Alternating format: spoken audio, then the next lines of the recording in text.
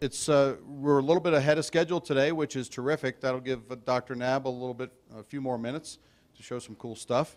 Uh, what I'd like to do is show you outside one more time here this morning from Breckenridge live. The clouds are really breaking up, so uh, Dale, your forecast is verifying um, already. It's very nice, very nice out there. So our next speaker is Dr. Uh, Rick Knabb, who is the director of the National Hurricane Center and his uh, career in tropical weather forecasting has spanned both the Pacific and Atlantic Oceans, from forecaster to risk assessment to on-air hurricane expert at the Weather Channel. Rick returned to the NOAA's National Hurricane Center as director, where he experienced what, what may be marked as the biggest challenge of his career, Superstorm Sandy.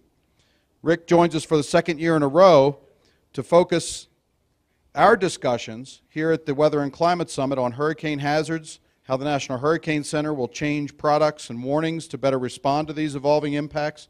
But before the storm hits, we must prepare. So take a look at this brief video produced by the National Hurricane Center that gives you a little introduction to the Hurricane Center itself, and then we'll move on with Rick's presentation. So let's take a look. I'm James Franklin, Branch Chief of the Hurricane Specialist Unit at NOAA's National Hurricane Center in Miami. The Atlantic hurricane season runs from June 1st through November 30th. Every coastal community, from Atlantic Canada through the U.S. East and Gulf coasts, Latin America, and across the Caribbean, is vulnerable to these massive storms. Hurricane hazards include high winds, heavy rains, storm surge, inland flooding, and tornadoes. And recent storms such as Sandy, Irene, and Ike have had a deadly impact. You've probably heard NOAA's seasonal outlook, forecasting how many named storms, hurricanes, and major hurricanes will occur over the entire season. But please don't use the seasonal forecast to decide if or how you should prepare. These outlooks can't forecast where a storm will make landfall, and it only takes one storm hitting your community to make it a bad year for you. Forecasters at NOAA's National Hurricane Center continuously monitor the tropics for signs of a developing storm, forecasting the storm track and intensity, and then issuing timely watches and warnings as the storm approaches land. But you have to do your part. Be prepared this hurricane season. For more information, visit our website at hurricanes.gov.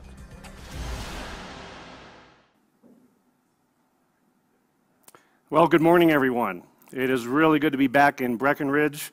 It is really uh, an honor to talk to all of our media partners here today. You are so vital to what we do in the National Weather Service, and a couple of our uh, Weather Service colleagues have already spoken to you this week are still in the room. So it's always good to partner together to talk, and I'm looking forward to the discussion. Uh, having worked in the media myself, I really respect what you all do and it is so difficult. It's so much more difficult than folks realize. Uh, all the preparation that goes into what goes on the air, and we are uh, thrilled to be partnering with you on an ongoing basis. And as, as, much as I love weather, especially tropical, I love technology, and it's really uh, pretty cool that the technology allows us to talk to all of you out there uh, listening to the live stream, and hopefully we'll get some really uh, interesting questions from you via social media, and I'm looking forward to answering those as well. Uh, so this is kind of an update. Uh, you know, as you know, the 2013 Atlantic hurricane season was not very impactful for the United States and overall was not all that busy compared to past years and, and averages. Uh, there were some impacts which we'll briefly talk about. Uh, so what I'm going to mostly talk about today is the future and where we are headed with enhancing our collection of products and services and warnings and some of the key messages that, that we're trying to emphasize as we try to get everyone uh, prepared for the next hurricane, and not just domestically, but internationally as well. So we're going to focus on the hazards and talk about the upcoming changes to our products and our warnings. But before we get to all that, let's go ahead and knock out the seasonal forecast issue and, and talk about how last season uh, went and how it didn't go. Uh, this is the track map, a preliminary one, because our hurricane specialists are just getting to the point where they're finishing up their analyses of every individual cyclone that occurred in both the Atlantic and Eastern Pacific. That's part of what they do in the latter part of the hurricane season during the off season. And so, uh, depending on how things are finalized, uh, this track map might slightly change. But this is a pretty good depiction of what happened during the year. Uh, certainly is below average to have two hurricanes during the whole season and no hurricanes reach major hurricane status, category three or stronger on the Saffir-Simpson hurricane wind scale. We did have one impact in the United States with Andrea uh, very early in the season, in the first week of June. And that storm was interesting for a couple of reasons, um, one of which was that it had some relationship to the changes we made following Sandy. As you recall, when we talked last year, and in many other venues, as you recall, uh, we made two significant changes on June 1 of last year that came directly out of Sandy. Number one was that we now at the Hurricane Center had the ability to continue issuing forecasts and advisories, even if a system becomes post-tropical. Okay? And we in the Weather Service uh, gained the ability on June 1 to issue or maintain tropical storm or hurricane watches or warnings, even if a system is post-tropical. And of course, we thought, well, Sandy was a very unusual case. Uh, I strongly advocated within our agency to make those changes, and, and we did. Uh, we didn't think we'd have to use it very often, and five days, six days after we implemented the new policy, we used it. as, as Andrea went up the east coast of the United States, certainly nowhere near the impacts of Sandy. But it went through that transition of becoming a post-tropical cyclone, and despite that, we continued to issue our advisories, and we did, in the Weather Service, uh, maintain some tropical storm watches and warnings uh, despite its change in status. So that change, I think, works, and it was vetted and thought through and tested in the off-season, and it worked. So uh, that's, that's a bit of good news there. Uh, the, the, bad news with Andrea is it didn't have zero impact. There was apparently one fatality uh, on the coast of South Carolina in the, in the heavy surf or rip currents, not sure exactly the circumstances. Um, and we did have 10 tornadoes in the state of Florida, and one of them went not far west of my house in Weston. I was track I was at a conference in northeastern Florida, and I'm driving back very safely, of course. I, I was watching the radar and making sure I wasn't going through heavy rain bands. Uh, but I, I, I, stopped at one rest stop and was looking at the radar, and there was a tornado going over the Everglades, west of where I live in Broward County, Florida. So, yes, we, uh, yeah, we, we did have some impacts, had more than a foot of rain in a couple spots in South Florida. So there were some impacts, and it showed how difficult it is to forecast really heavy rainfall in a localized uh, spot. So we did have some impacts, but the rest of the season for the U.S., uh, quite quiet. Um, I do want to mention, though, that Mexico was impacted quite severely this year. When you combine what happened in the Atlantic Basin and what happened in the Eastern Pacific, they were impacted directly by eight different tropical cyclones. Most of them tropical storms, a couple of them hurricanes. The flooding problems they had down there were tremendous. In fact, the folks from uh, the Mexico uh, Meteorological Service uh, visited my office uh, late in the hurricane season, and we've already begun discussions on, on how we can work together uh, to better prepare folks in, in other countries and, and, and, try to enhance the messaging on the flooding from freshwater, uh, you know, due to rainfall in their mountainous terrain. So you'll hear me talk a lot about water today. You know, hurricanes and tropical storms definitely not just about wind. That's important with the, the winds themselves, which can be damaging and deadly, and the tornado hazard.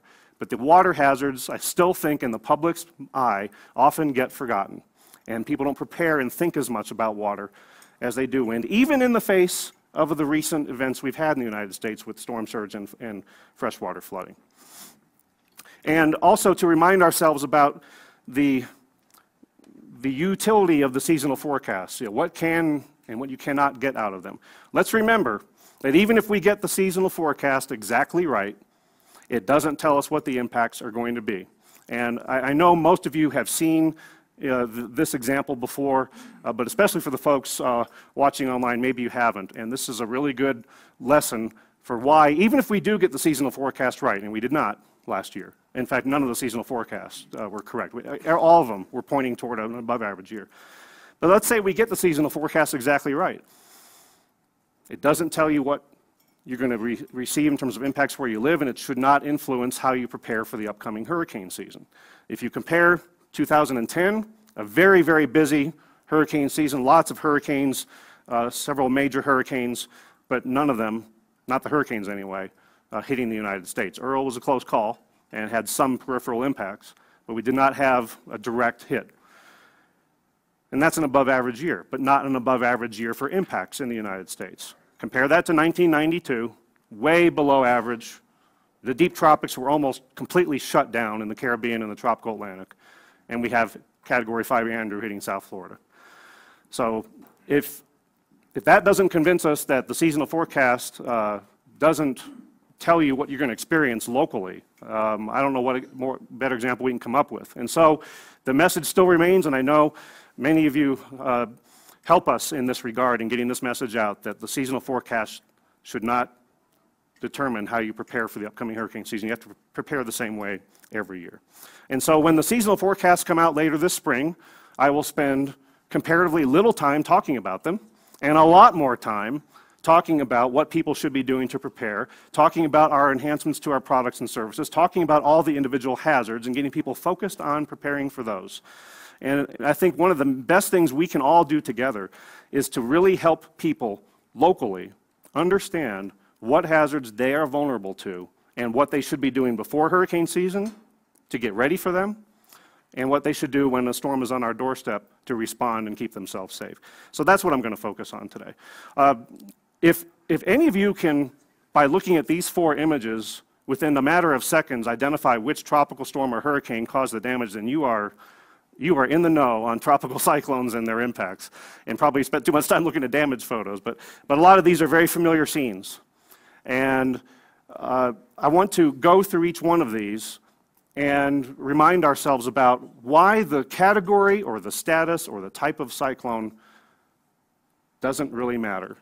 You can have really serious impacts in, in, any kind of system. And this is to explain why we are lessening the emphasis on categories and status and what you call it, and focusing more on products, services, warnings that focus on the hazards and what people locally should be doing. First one, you probably remember Tropical Storm Allison in 2001, never became a hurricane. Uh, I have family in the Houston area. That's where I spent junior high and high school. This one hit me personally. And it uh, was a very, very slow moving tropical storm. You see, right about there in the loop is when it starts to just park itself over southeastern Texas. Eventually moved across the Gulf Coast, became subtropical for a while. It hung out for quite a long time and we were measuring the rainfall in feet. We had billions of dollars in damage in the Houston area. We had fatalities. Uh, it was a very significant event, and it never became a hurricane. Uh, and, and that's an example, again, where the water was the focus. And very similar to this, Tropical Storm Debbie, 2012 one of the forgotten storms of 2012 by many people because of what happened later that year. But Tropical Storm Debbie never became a hurricane, and really never looked like much. Exposed center of circulation over the Gulf of Mexico and all the rain bands and tornadoes and heavy rains over the state of Florida, far away from the center of circulation. Uh, so, again, like my predecessor Bill Read has often said, there is no such thing as just a tropical storm. And we have to treat these very seriously, especially when it comes to the freshwater flooding and the tornado hazards. I think those are what really rear their ugly heads in tropical storms. Uh, but you still can have, as Debbie 2012 showed us, you still can have storm surge. We saw that in the Tampa Bay area uh, in Debbie. Uh, and uh, tropical storms can cause power outages, tree damage, uh, and people get into trouble on the roads because they think, well, I can get around, it's just a tropical storm. So we've, we need to really emphasize that tropical storms are not to be taken lightly um, and focus on what, what hazards are being experienced locally because if we focus in a tropical storm on where the center of circulation is, we could be drastically misleading people because the rain bands could be 100 and 200 miles away. So Allison is a good example of why the status or category of a system should not be our focus. I'm sure you all remember Charley very well.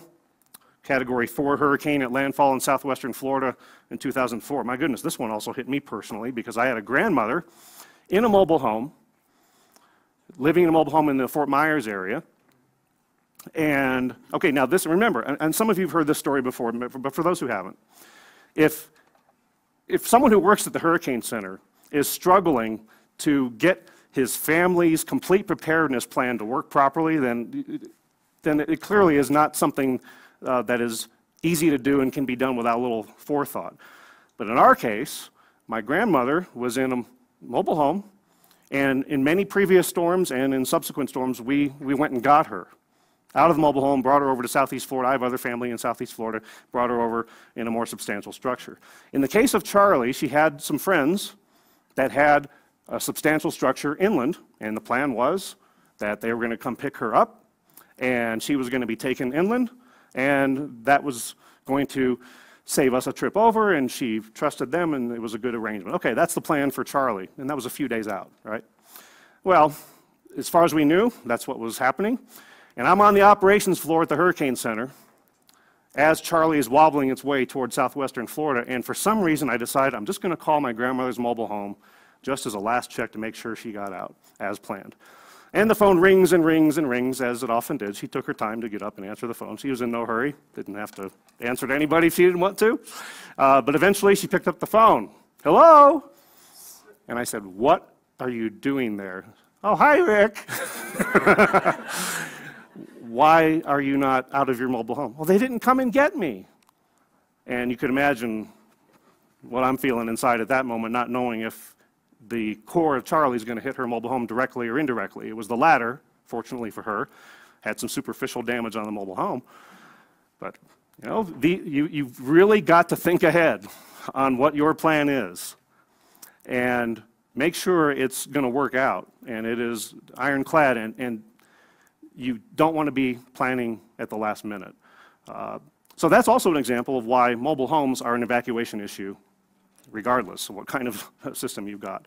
Uh, and so Charley was about the wind, mostly. It did cause storm surge, uh, but because it was so small compared to many other hurricanes, for your average size category 4 hurricane, which would produce a lot more storm surge, Charley, as a smaller category 4, did not produce nearly as much.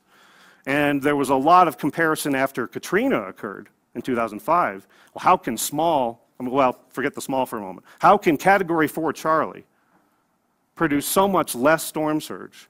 And how can Katrina be only Category 3 when it has this much storm surge? Again, the categories are misleading because storm size, obviously, has become key in our minds in understanding what a storm can do. And if you're smaller, all things considered equal, you're not going to produce as much storm surge. If you're larger, all things considered equal, you're going to produce a lot more. And you take the same hurricane, you put it in a different part of the coastline, you could get a completely different storm surge outcome. So Charley Katrina comparison is really helpful in understanding um, what can happen. Now, if Charley scenario happens again, everything else is the same, but it's larger, you've got a much bigger storm surge problem. But it was also a reminder of how much hurricanes are not just a coastal event because of the inland impacts. I mean, I, Max Mayfield and I went on a Black Hawk helicopter tour a few days after Charley and followed the damage path of what just looked like an overblown tornado path all the way past Orlando. Uh, so folks who live in inland areas have to be reminded, I think, over and over again, especially because how many people who live in the vicinity where Charley went didn't live there in 2004, but live there now and might not think they have a hurricane problem. So, uh, so the inland effect is another uh, lesson from Charley. Okay, let's look at the bottom left one here. This is from Isaac of 2012. Uh, that's from the, that picture uh, up there on the upper right now is from Laplace, and the Braithwaite picture down in the bottom right. Uh, Isaac took its time to become a Category 1 hurricane, a sloppy, large tropical storm for most of its life, but it was a large, slow-moving, Category 1 hurricane when it came into southeastern Louisiana. And it's almost painful just to sit there and watch that radar loop, right? Get on with it already, right? But because it took a different track than Katrina, even though the category, the overall strength was less, there are places that flooded due to storm surge that did not flood in Katrina. And that has thrown people for a loop, too. How can that be? If I got through Katrina, certainly I can get through Isaac. So that's another lesson. we, you, you may have already seen me say this on television in the past, and I'll say it again. When, when we start talking about the storm that we're facing and we start comparing it to past storms, you know, we can have some of that discussion, but I will probably quickly take the discussion back to let's keep our eye on the ball on this one. Because every storm is different. And every storm has its curveballs that it's going to throw at us, and people aren't going to be expecting it. And with Isaac, you know, I think we, we, we knew when we were briefing the emergency managers and talking on television and whatnot, uh, that we had some areas that were at risk that didn't flood in Katrina. And it took a lot of discussion uh, to get people over that hump to, to realize that that could be the case. So the, the, little details of differences between one storm and the next, one hurricane and the next, can make all the difference in what your local impacts are. And again, another lesson why don't focus on the category. One versus three shouldn't be a problem. Know, that can throw you off. And then, uh, you know, so many lessons to learn from Sandy. Uh, this will be studied, discussed, I'm sure, for many years to come. Some of those lessons have turned into quick changes. Some of those things are probably going to be studied by a number of graduate student theses and doctoral dissertations for years to come. Um, from a meteorological perspective, that is quite a sight off the East Coast there. Uh, haven't seen something like that uh, in a long time. In many of our careers, not ever. Sandy is another example of some of the things we've already talked about. That just because it only had the wind strength of a Category 1 hurricane, and just because uh, it was no longer tropical and we knew it wasn't going to be tropical anymore, it still was able to produce a tremendous amount of damage owing to its large size primarily. And again, all things considered equal, something that's larger is going to produce a greater storm surge problem. And for those covering things on a regional and national scale, especially, uh, the larger the system, the more people it's going to impact, the larger the scope of the disaster uh, is likely to be. Uh, Sandy also reminded us of the water hazards. And again, I, have told this before, uh, that when a few of us flew on a, a, helicopter tour arranged by FEMA a few days after Sandy, when we first flew down the New Jersey coast and first set eyes on some of the damage in person, I think all of us looked at one another and we almost, we couldn't hear one another because of the headphones, but we mouthed one another, water. You know, because you look at the, the, the roofs, the shingles aren't gone you know, on the New Jersey coast. The water did that damage. It's crystal clear that that's uh, the primary mechanism of the damage there, and that there was a lot of wave action. So when I look down the coast from Sandy, and I look at places like Savannah, Georgia, hasn't been hit in a long time by a hurricane, over a century. Look at the Tampa Bay area, which has dealt with some uh, glancing blows by comparison to what they got in 1921. All kinds of places that haven't been impacted by a major hurricane and a major storm surge event. Oh, by the way, that includes the county I live in. Uh, Broward County, Florida, Yes, we had Wilma. Yes, we had impacts from other systems in recent years, but we have not had that major impact from the east with a major storm surge event in a long, long time. And so I'm hoping that one of the things we can do with Sandy is show people, well, if, if a big storm surge event can happen that far north, then you folks down in the southeast and Gulf Coast, you think you're off the hook in any way? Uh, there's there's got to be, I think, a resurgence of our emphasis on getting people aware of if they are vulnerable to the storm surge hazard and what they should be doing to prepare for it. So, one of the questions I'm asking over and over again, and will be doing for the next several months and probably longer than that, when I talk to an individual, when I'm speaking at a conference, I'm going to ask this question Are you in a zone? Are you in a storm surge zone, a hurricane evacuation zone?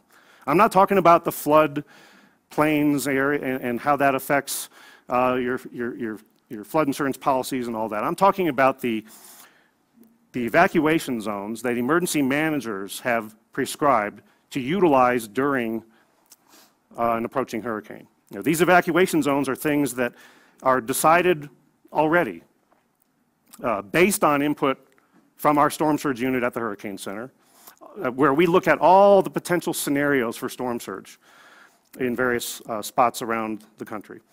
And then the emergency management community prescribes the evacuation zones. But I am convinced that there are so many people that don't even know the answer to the basic question, what zone do I live in? Do I live in one at all? In fact, there's a media person who's not in this room, and I won't name him or her, who I talked about with this issue within the 18 or so months since I took this job.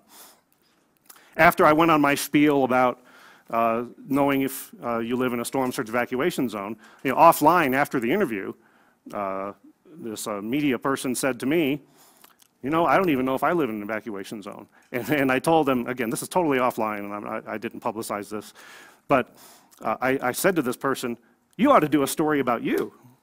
you know, and, and, and show people what it takes to find out if you live in an evacuation zone and how you went about dealing with that information. Because if you think about it, and I, I've done this for years, going around the country saying over and over again all of our favorite cliches, right? You know, get your disaster supply kit, uh, get your family plan together, uh, all of these cliches that we use. And I think in the past, before we started to realize how much people didn't understand about storm surge and about the water hazards of tropical storms and hurricanes, I think we presumed that if we simply said those things enough, prepare, prepare, get your disaster kit, uh, get ready for hurricane season, get a plan, all that. That by doing that, people would respond and uh, that would hopefully, for the most part, take care of it. Uh, but I think we're finding out that it, we need to make it even easier for people to get this information. And if they don't have a knowledge of what evacuation zone, if any, that they live in, then let's face it, the one's hurricane preparedness plan for yourself or your family or your business is flawed from the start. Because if you don't know if you're going to be staying during hurricane or going, or at least there's, if, there's a, if you don't know if there's a potential that you'll be told to evacuate, and you don't plan for that in advance, it's probably not going to go real well when you try to throw that plan together at the last minute. And if you don't know if you're staying or going, how do you figure out what supplies you need? How do you figure out uh, how people are going to get a hold of you? How do you figure out what to do to your house to get it ready? Because if you're not going to be there, there's some things you should do before you leave. Uh, so getting that hurricane preparedness plan together for folks in hurricane prone areas, I think starts with answering the question, am I in an evacuation zone? And so I, I hope that we can work together with the emergency management community. You know, this would involve weather service, our media partners and our emergency management partners, and in doing everything we can to make these evacuation zones easier to find out. So if, you, if you're not convinced that people don't know their risk to storm surge, let me show some examples of information uh, that some of our social science uh, colleagues have shared with us. Many of you might know who Betty Morrow is. Uh, she's a South Floridian, uh, been doing uh, social science work for a long time. And this is one graphic she uh, has shared with us. This is from her uh, uh, talking to folks in the North Georgia coast area. A very vulnerable area, the Savannah, Tybee Island, all that. And uh, this isn't even a depiction of evacuation zones. This is simply land elevation. And the redder you are, the closer you are to being sea level. So it's, it's a proxy for your, your vulnerability. But, I, but for those not vulnerable with this area, trust me, the storm surge problem goes way inland from the immediate coast. And the dots represent the, the responses that she received to the question of whether or not people thought, based on where they live, if they would, if they thought it was likely or not very likely or somewhat likely that storm surge could flood their home. You know, what, what do they think their vulnerability is? Um, and if, uh, if you see a lot of green dots where there's a red background, we've got a problem. Those folks are saying, no, it's probably not. Now, part of what might be going on here, I think, is that people are thinking that the chances of it ever happening are so low that even if it could happen, I'm not going to spend a lot of time worrying about it and certainly not doing anything about it. Uh, that's part of the problem, the rarity of these things. And of course, this is an area that hasn't been impacted directly by a major hurricane and a severe storm surge event in over a century. Of course, when that did happen, hundreds of lives were lost. Uh, it's, it's a very vulnerable area. So there's, there's one area. Let's look uh, to the Mississippi coast, a, a very similar uh, set of questions. This does depict the evacuation zones, a couple of evacuation zones in red and orange. Um, and this was talking about evacuation intent. So if, you, if your dot is red, you're saying you're not likely to evacuate. So if, look at all those red dots down in the evacuation zone. And, you know, even though we got a lot of green dots in the evacuation zone, okay, that's good, but you have a lot of green dots outside the evacuation zone. That poses a little bit of a problem too, because then you're going to have the wrong people evacuating and clogging up the roads for the, for the red dots that need to be getting out and aren't.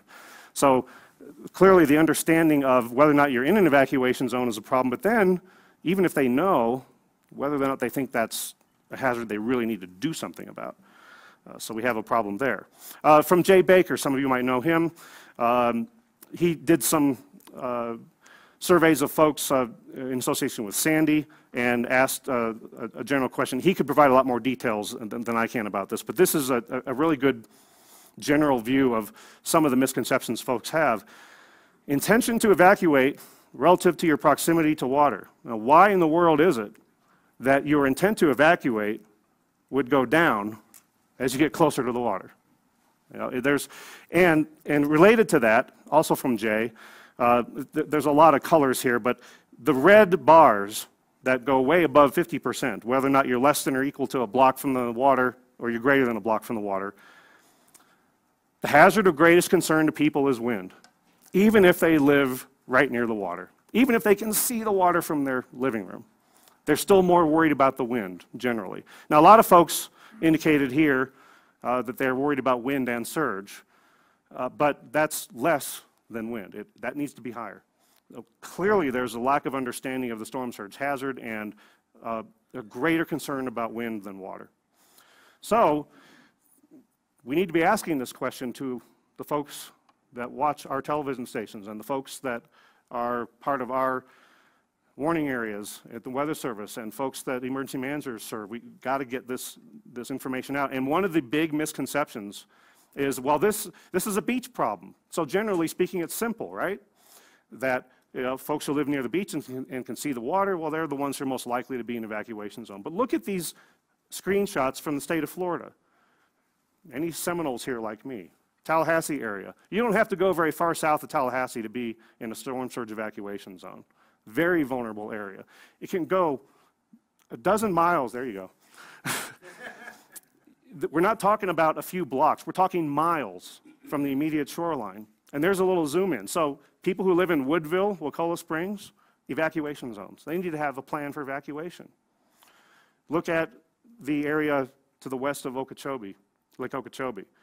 There are evacuation zones in South Florida that go 15, 20, 25 miles inland from the immediate coastline because they're so vulnerable, so low lying. And it's not just because of the low lying nature of the land, it has to do with how deep, how fast the water gets deep offshore. And on, on the west side of Florida, including up to the panhandle, you have a, a very shallow Gulf of Mexico for quite a ways out. And that enables the storm surge to build up more and go farther inland. Take the same storm going into southeast Florida, you put it in southwest Florida, you're going to get more storm surge farther inland because of the, the shape of the coastline and bathymetry of the ocean offshore. And even look at uh, the Port St. Lucie, Jensen Beach area in Florida. People might not realize that because waterways connected to the ocean go inland, that brings a storm surge risk to them. They might not think, I don't live anywhere near the beach, but they live near water, and they have a risk. It ought to be as easy for people to get out their smartphone and find out if they live in an evacuation zone as it is to find the nearest Lowe's or Home Depot or Walmart or McDonald's or whatever. In fact, I did a little test one day just to entertain my family. Because I, was going, I, was, I was ranting about the storm surge evacuation zone issue in my own house, and of course, they, they have to listen to me go on about this all the time. And they, you know, think, is this really that big of a problem? I said, let me test this. So I got out my phone, got on, to, got on Siri, and I asked Siri, who's the catcher for the Florida Marlins? I got an answer in five seconds. I said, do I live in a hurricane evacuation zone in Weston, Florida? Would you like to do a web search for that? you know, it shouldn't be that hard. It's, it's, the information's out there. If we make it more easy for people to find it and we advertise that it's there, I think we're going to have a much better chance of people um, responding and, and being knowledgeable about their risk. And that, I think, is important even before we talk about the new products and warnings that I'm going to summarize here in a little bit. We got to get people better prepared, and I think there's something we can do for the public and not just keep asking the public to, to better understand it on their own. Yes? Okay. Howard Bernstein, WUSA. Do you guys have the resources, um, whether budgetary, or whatever, to develop an app for that and make it available for people? So the question is, do we have the resources to develop an app for this? Um, if I, at the moment, no uh, because most of our resources at the Hurricane Center and in the Weather Service are devoted to our operations and enhancing our products and services and warnings. We do obviously have a huge outreach component to what we do, and we apply resources to that. But to better answer your question, I would say that this is a joint effort, a joint issue between us and emergency management and media. To, I, I, I, because ultimately the evacuation zones are the purview of the emergency managers. They are the ones who devise the evacuation zones. We give them guidance on where the areas of risk are. Uh, but they, they decide where the evacuation zones are. And uh, I think it's really going to be a partnership with them. And also, I would also uh, uh, mention that, you know, there are partners that we all are aware of uh, that are, are good at public education programs and things like social norming, you know, like folks at, the, at FLASH, Federal Alliance for Safe Homes. That's, a partner of the Weather Service uh, that, that has helped us do things uh, along the lines of public education. Uh, so those are some folks we're talking to. Uh, but we need to, as a community, together work on this. And, and I would envision, uh, if I could wave the magic wand right now, some kind of public education program that's designed by people that know how to do that sort of thing, that our media partners would help us promote, and that the emergency managers would be the source information for what they want us to promote. Because evacuation zones and evacuation routes and, and the procedures that they want their local residents to follow differs from state to state, or even from locality to locality. And so whatever it is that the emergency managers locally are telling their citizens they should be doing to deal with the evacuation issue, that's the information we want to promote. But whatever it is, we want to make it easier for people to find. So, Yes, sir. Do you run into the situation that the people you most need to educate are the people who just won't listen? How do we cross that barrier? Do you understand that? Yes, I understand the question. I- I- Are, are the people who we most want to uh, convince of what they should do and, and educate them the people who are least likely to listen? I think there are, there's every combination. I think there are people who really do want to know what their risk is and are having trouble finding it. And I, and I know that for a fact because when I was in the media world, I got those calls. I got those social media messages asking, I need to know my evacuation zone. And I couldn't find it really quickly in some cases. So there are people who are looking for it and having trouble finding it.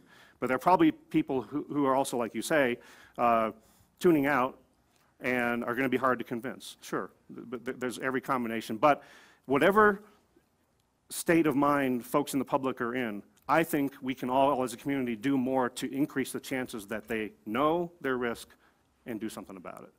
So, yes, there is, there is that issue that you described. So, get off the soapbox about the evacuation zones, but, uh, but let's presume that everybody knows their evacuation zone and is ready to do what emergency managers tell them to do. What is going to be new and different? What are we going to be doing from the Weather Service side to help emergency managers make those evacuation decisions, because it is their decision to make? And what tools are we going to be putting in the hands of our media partners to help you communicate the storm surge risk and hazard better? And where does all that meet? Because ultimately, I think what we want to accomplish here is we want people to know their evacuation zone and plan ahead for evacuation if they're told. And they, and they go when they're told to do so by emergency managers, hopefully bolstered by the fact that our media partners have been reinforcing that message from the emergency managers and are armed with information from the National Weather Service that helps explain why it is that area is being told to evacuate. Because there is a new way to convey that, and there's a new storm surge warning that we'll get to in a little bit. Uh, now, I know, again, from my time, relatively short as it was, uh, in the media, uh, that I didn't have all the tools I needed to convey the storm surge hazard. And I think that's on us and the Weather Service to, to fix that problem. And we've known for over a decade, I think, that we needed to come up with something new, or some new things, plural, to enhance our communication of storm surge in real time. Know, we've, we've talked at, at length here already about the preparedness component of that, which we will continue to, to harp on. But we need information that better conveys the storm surge hazard when there's a hurricane or tropical storm on our doorstep. When I was on television, I remember preparing to go on the air without any real good idea about what this particular storm was going to do in terms of storm surge inundation over land areas. How far inland? Is this specific area at risk? Is that specific area at risk?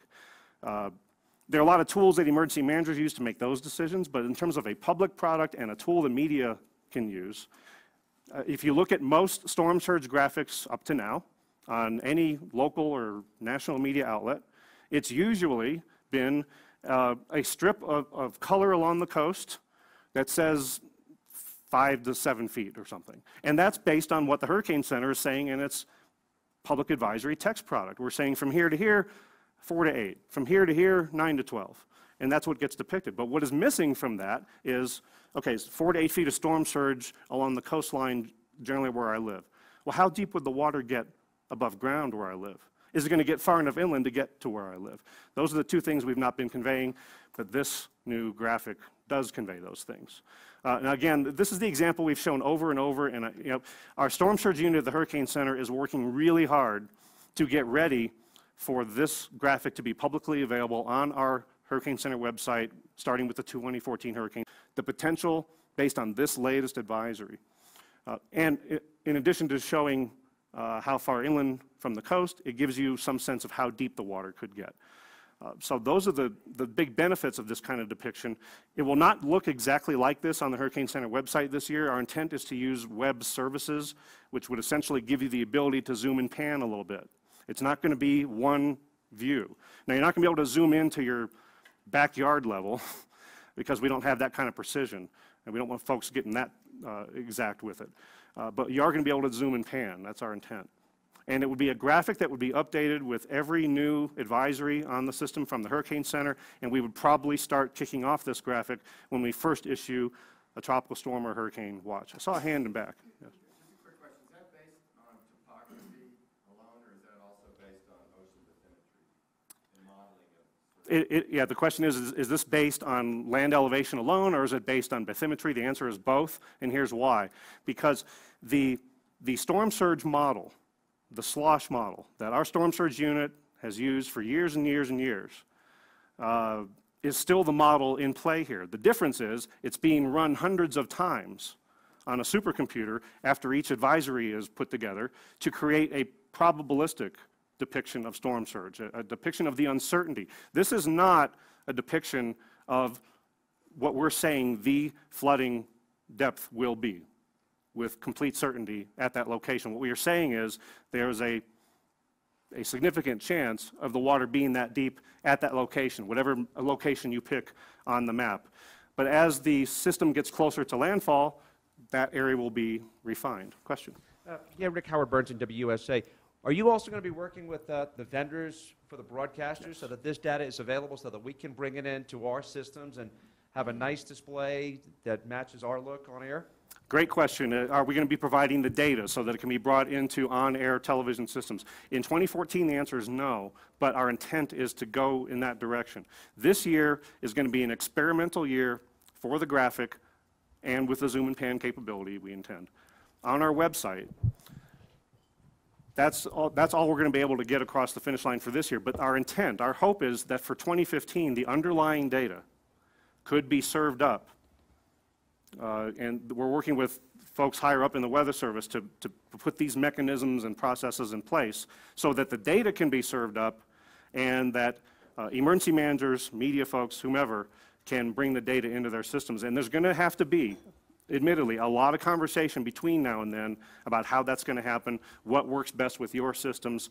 Uh, We're doing this in a GIS environment, and we have to blend this into how the Weather Service is doing GIS services, and those are evolving.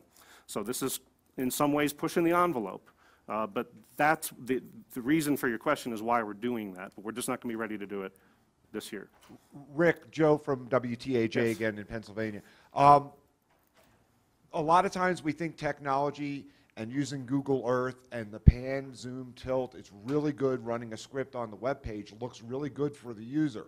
However, even though our vendors can't, won't have something this year, if you just simply have still options that we can grab and put into our systems, it's a lot better. We can't do that with a lot of those manipulating maps mm-hmm. as easily. Sure, and you, we will try to make it as easy and usable for anyone uh, as possible. And, and I know, um, you know, media folks use uh, graphics from web pages, both government and- university and otherwise. Uh, And some of those look pretty good on the air. And, and, and we're, we would certainly give you the ability to have the, the wide view, the complete shot, so that you can bring that on the air. But I could envision some of you doing a little bit of zooming and panning on the fly uh, if, if, it, if it comes across well on television. Um, so it- it'll be an experiment this year. We're going to do it as well as we can uh, with the resources we have at the Hurricane Center in our storm surge unit, and um, I think you'll be able to show it on the air. Uh, But again, later, hopefully starting in 2015, we might have some data underlying that you could bring into your systems, because that would be, that'd be ideal, right? To be able to show a depiction and, and throw up all kinds of information on top of the, the graphical depiction of the data, so that you can put roads on there, and you can put cities on there, and, and communicate to the people you're trying to communicate to. Because the cities or the, the, the, uh, the legends and whatever that we've put on our map might not be exactly what suits you the best. Although I will say this, uh, this- it's important to remind everyone of this, that the design of this graphic, the colors, the labeling, what color the ocean is relative to land, the wording that we're using in the description of the graphic have all been carefully thought out and, and utilizing input via social science analysis of, of uh, feedback from media partners, from emergency managers, et cetera, and folks elsewhere within the Weather Service. Doesn't matter, if it doesn't fit brand, it won't see the light of day on most of these TVs. Sure, and, and that's why, and that's why, yeah, and again, that doesn't mean, it, that doesn't mean it will fit everyone's needs to a T, but it does give us the best chance for the greatest utility by the most people for a graphic on a website. But we know that the underlying data are of value, and you could utilize it to much greater benefit. So, so it, it, it matters in the sense that we haven't just designed the graphic ourselves without asking folks uh, what would be the most uh, useful. And again, with a web graphic, you want to increase the chances that even somebody looking at it with no other description or explanation has a, a- decent chance of grasping what it means. And that's why we, we are, you know, we, the title in the legend is Potential Storm Surge Flooding. Those are key words. Potential means we're not saying this is going to happen at that spot. That is what the potential is at that spot, each spot on the map. And flooding is intended to convey, it's, it's the above ground depth of the water. It's not storm surge over some fancy reference level. It's how deep the water could get. So, yes, sir. No, no, this is a storm surge graphic. It does not take into account rainfall and inland flooding. That hazard obviously does not occur in reality in a complete vacuum relative to the storm surge flooding, but our, our modeling capabilities aren't quite there yet where we can merge those two, but certainly that's the direction we want to head in. But we do provide input from our modeling output that creates this graphic into river forecast models, and we certainly convey separately the local watches and warnings and rainfall potential uh, due to freshwater flooding. So that's, that graphic's coming out uh, in 2014. Then by 2015, I know you've seen, many of you have seen this uh, graphic before. It's essentially just a visual aid to give you an idea of what the storm surge watch and warning are intended to be. Not just a strip along the coast, but uh, on a grid, essentially, lighting up the areas that have a significant chance for life-threatening storm surge. And this is something we've been thinking about, even put some pen to paper as far back as 2002 with internal discussions about the need for a separate watch and warning, different from the hurricane and tropical storm watch and warning. And again, if you haven't heard this example of why that's important, think back to Hurricane Ike of 2008, where the water started to rise on the southeast Texas coast before the winds of tropical storm force got there. And think of Dennis in 2005, where the storm surge happened well outside the hurricane and even tropical storm force winds in the Big Bend of Florida. So storm surge can easily happen in a different place and a different time as compared to the hurricane or even tropical storm force winds. And, you know, the, the things that people should do in response to the wind hazard are different than the storm surge hazard. The evacuation zones we've talked about are for storm surge. Now, folks in mobile homes, high rises, what else? Uh, vulnerable structures of any kind might need to leave because of the wind hazard. But primarily, evacuation is due to storm surge, and this warning is intended to highlight the areas uh, where we think there's a significant chance of storm surge happening, which we think will bolster the messaging to convince people to pay attention to those evacuation instructions. Uh, It's not intended to replace it. And, and by the way, this graphic and the underlying data, when they're eventually available, we think could be a very positive game changer for how emergency managers make their decisions on evacuation, which is largely based on category and, and a, number of uh, scenarios that they're looking at that are category specific. But this data could enable them to overlay it with their evacuation zones, and it would much more quickly become apparent which zones are at risk. So this is a decision-making tool as well as a communications tool. We're going to be going through all kinds of exercises with emergency managers to, to help them figure out how to use this new tool. But then the storm surge warning is mostly going to be a communications tool. Even for the decision maker who might, the emergency manager might go to his elected official and say, well, we, we have these evacuation zones that appear to be greatly at risk due to the modeling that we're looking at from the Hurricane Center. Someone from Florida almost evaporates in Colorado, so pardon this. Excuse me.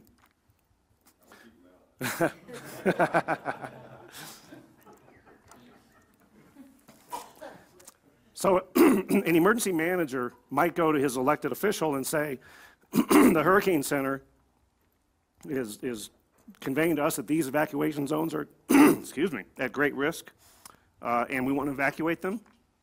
But if on top of that, there is a storm surge warning in these areas, it could enhance the ability of emergency managers to, to make those decisions with confidence and to convince elected officials. So, uh, in addition to that, thank you, Dave. um, in addition to it being a, a, a re, an emphasizing point for decision makers making the evacuation decisions, it really is a communications tool. A warning is intended to evoke a response. It's intended to get people to take action. We're already working on the call to action statements for this warning which we're intending to be available in 2015. We have a, a, storm surge warning implementation team in the Weather Service. We and the local forecast offices are working through how this warning would be collaboratively decided upon, and importantly for you folks, how it would be communicated such that you can show it on the air. And uh, there's a lot of work to do between now and then. Uh, and if your question uh, coming to mind might be, is there going to be a storm surge watch as well? The answer is yes and what would be the time frame. We haven't finalized it, but the general idea is on a similar time frame as the existing hurricane watch and warning, meaning that a storm surge watch would come out about 48 hours before whatever weather uh, phenomenon is going to is anticipated to start, which would impede evacuation. So a 48-hour notice on what time you have left to evacuate for a significant storm surge. Probably not going to be five or six feet, so probably somewhere in between there, which would be the criteria that would trigger the storm surge watch or warning. So that's uh, 2015. And if you combine that with potentially the underlying data from the graphic I showed you previously, there'd be a lot of new tools for you in the communications business to utilize. Craig. Uh, in the interim, before this goes into effect. Microphone. Sorry. Sorry.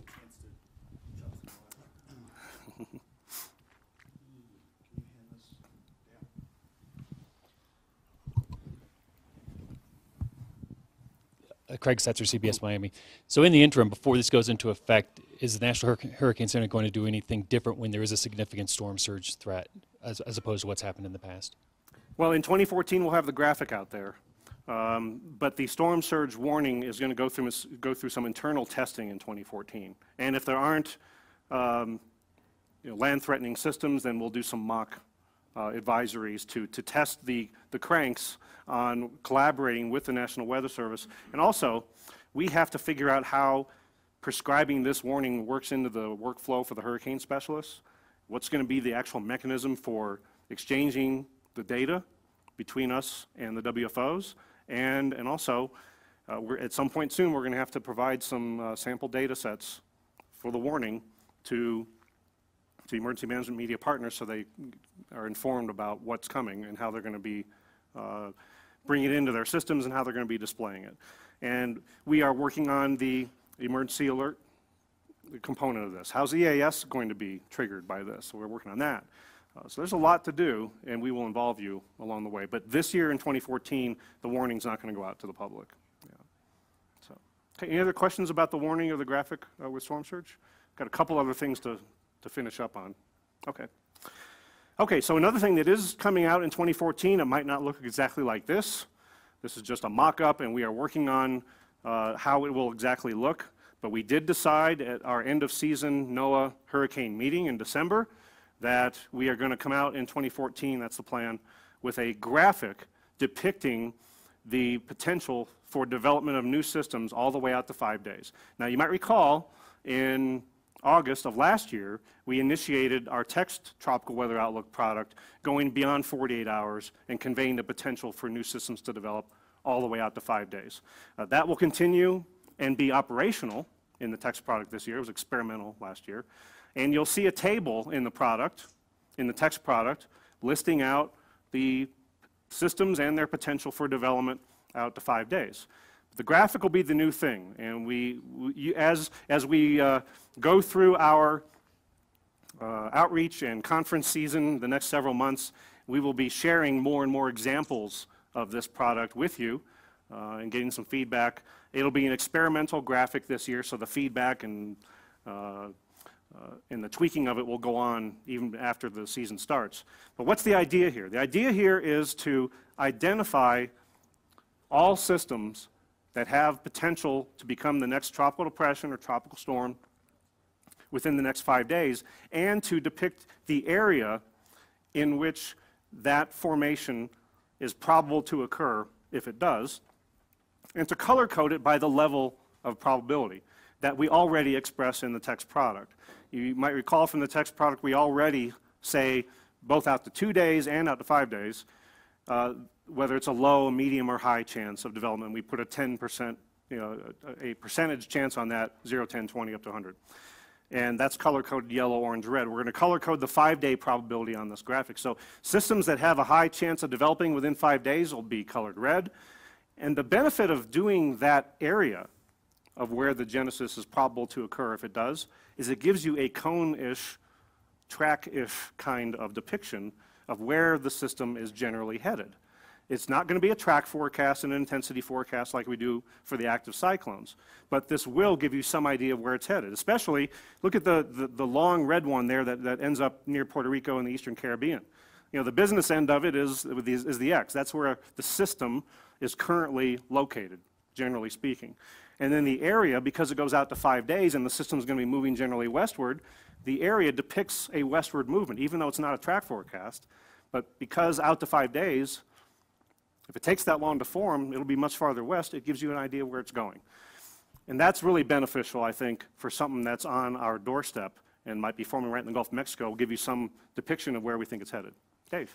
Rick, uh, Dave Jones with Storm Center Communications. I was just wondering if um, you, the Hurricane Center produced a series of really good videos. One of the ones we used to introduce you uh, this morning at the Weather and Climate Summit.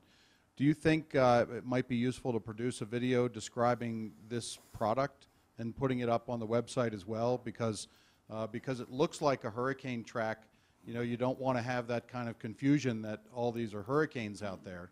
Um, but uh, to the public, I think all of the meteorologists and broadcasters in the room, all of those watching live on the stream, should really make this a story and focus in on the reason why the Hurricane Center is doing this. I think it's a great idea, but I do see some, you know, uh, confusion perhaps with the public saying it looks like a bunch of hurricanes out there. Sure. Well, let me answer, answer your question about should we do a video about this particular product. Uh, lots of answers to that. One is, uh, that's one thing we rely on our media partners to help us do, is to tell the story in a, in a, in a compelling way with video. so to some extent, we rely on you to help us do that. But as you saw, we, we have produced some of our own. Most of our efforts right now, heading into the core of the off-season here, on producing multimedia content to help explain changes to our upcoming products and services are being, are being pushed toward the storm surge arena to explain those, th- that new graphic that's going experimental this year. And there are going to be video explanations of those products and a number of different things that are going to go to emergency managers, something that's going to go to media. So we're already thinking along those lines and, and tangibly working on that kind of thing for the storm surge. We'll have to see if we can find the resources, or if not, get some assistance in, um, in producing multimedia content for this particular product, because it is important, as you say, for people to understand what it is conveying and what it is not conveying. Uh, Just as an example, too, it's not always simple, right? Sometimes a system that might form as a tropical cyclone in the Western Caribbean, for example, that system might not even exist right now. But in looking at the model depictions, there's uh, significant level of confidence that something's going to form there, and there's a chance that uh, we'll get a cyclone within five days. Also, sometimes you have what I call a disembodied depiction, where you might have some sort of mid-level vorticity maximum or something. Some, some areas spin over the continental U.S., and some portion of that interacts with other things in the Gulf of Mexico, and you got moisture, maybe you got a trailing front, who knows what. And the cyclogenesis won't occur until here, but it's not going to occur between here and here over land. Uh, that happened a few years ago. I remember being on the operations floor, seeing something come down from the, from the Ohio Valley, and we ended up getting a, a short-lived uh, depression or storm over the Gulf of Mexico. So sometimes they won't be attached. And we have to decide how much of this we're going to do all on. Systems are uh, probable to form, or if they do form, and we'll give you the, the chances of it color-coded. Wayne? Hey, Rick. Uh, Wayne Higgins, Climate Program Office. Um, so the Climate Prediction Center currently issues um, a hazards uh, assessment for the global tropics, actually, including the Atlantic Basin, that uh, includes week one and week two threats for tropical cyclone activity. And so my question to you is um, simply, are you coordinating with the Climate Prediction Center on this product? They don't depict, for example, cones of uncertainty. They, they show general areas where there, there's the expectation of enhanced or suppressed activity based on tropical features like the Madden-Julian Oscillation and others. So I'm just wondering, are you coordinating with the Climate Prediction Center on this product? Yeah, so Dr. Higgins is asking about our coordination with the Climate Prediction Center, uh, which we do have communications with on a fairly ongoing basis when it comes to their week one and week two products, which are more broadly based and not system specific, uh, and involve discussing some of these, uh, these factors like MJO.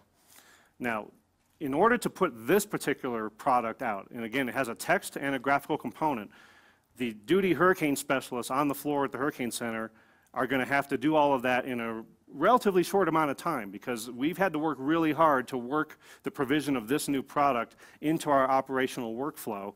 And it's not really going to be feasible in that time frame because this is going to be updated every six hours, uh, you know, day and night throughout the hurricane season.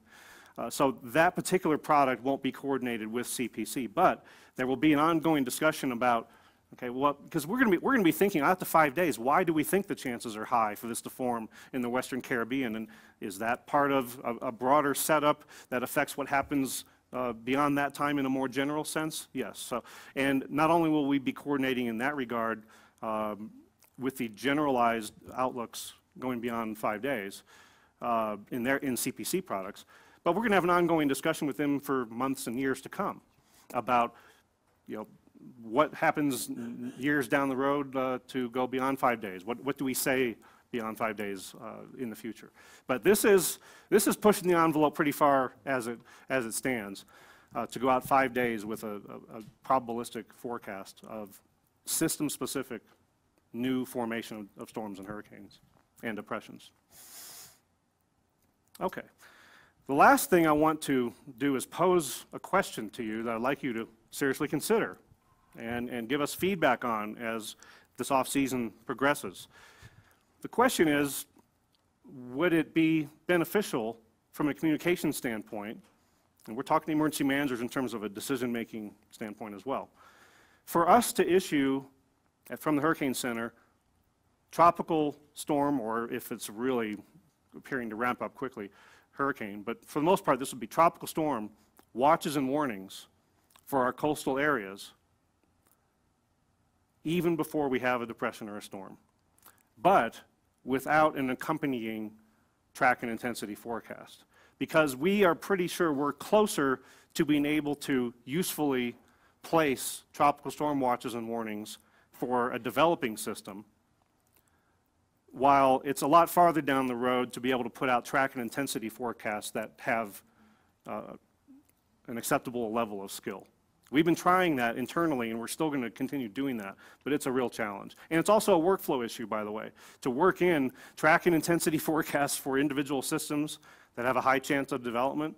That's a lot of work. Uh, and, but we think we can work in this.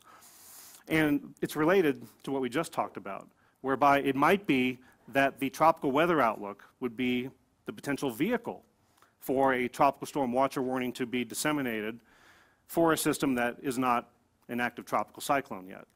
And it also could be that in addition to identifying the land areas that have the wind risks such they need a tropical storm watch or warning, that either as a companion to this graphic or potentially you could put them on top of one another, where you would have that development potential area depicted along with the watches and warnings.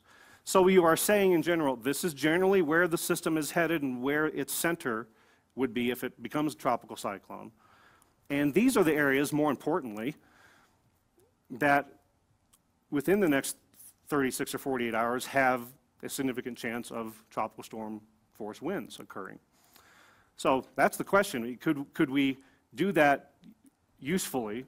Would that be a communications tool that would benefit you, even if there's not an exact tracker intensity forecast? Uh, but I think that it, it is the right way to go, but I'm, I didn't want to make the decision for 2014 and do that uh, without having a dialogue with the community. But this is something we're going to be talking a lot about. We have a team formed within the Weather Service that will be examining all the issues. How would we disseminate it uh, via the tropical weather outlook? How, what are the issues with it not coming along with the track and intensity forecast? Uh, how do we merge it with the tropical weather outlook for dissemination? Uh, how does it affect decision making and all of that? So we're going to be seeking your feedback for, for the next year. What about Joe Murgo from TAJ? Um, what about though? I mean, nowadays there are so many severe thunderstorm watches that a lot of people just discount them. Are you worried about a situation where then people become immune to the watches if they're put out too far in advance and there's too many of them? Okay. And false alarms that may go with some of them too, which further numb people's uh, attention to this.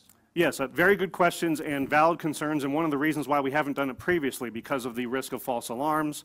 Um, But it would have the same time frame as the existing tropical storm watch or warning, so this would address the problem of a system that's near land areas and is trying to form almost right on top of us. And uh, that has a high chance of formation, because it would be tied to this product. And in the text and graphic, we'll be conveying those systems that have a high chance of development within 48 hours.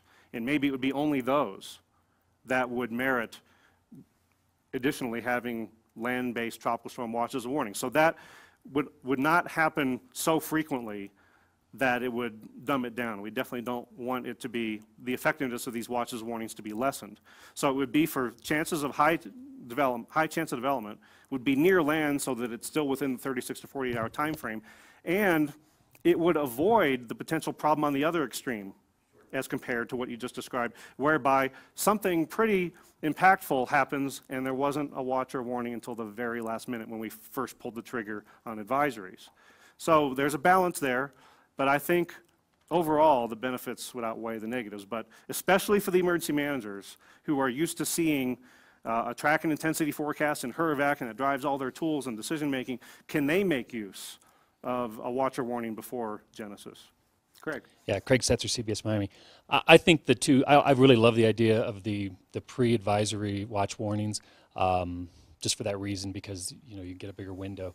But uh, I think it has to go hand in hand with some area that describes where the storm is going, because without it, it leads to a lot of speculation. And us as people on TV would be saying now, it looks like it would be going in this general direction based on the, the watches and warnings. So would this graphic help Absolutely. do that, even if it's not a, a point-by-point track and intensity forecast like for the cyclone? Absolutely. Okay, good, thanks for that feedback.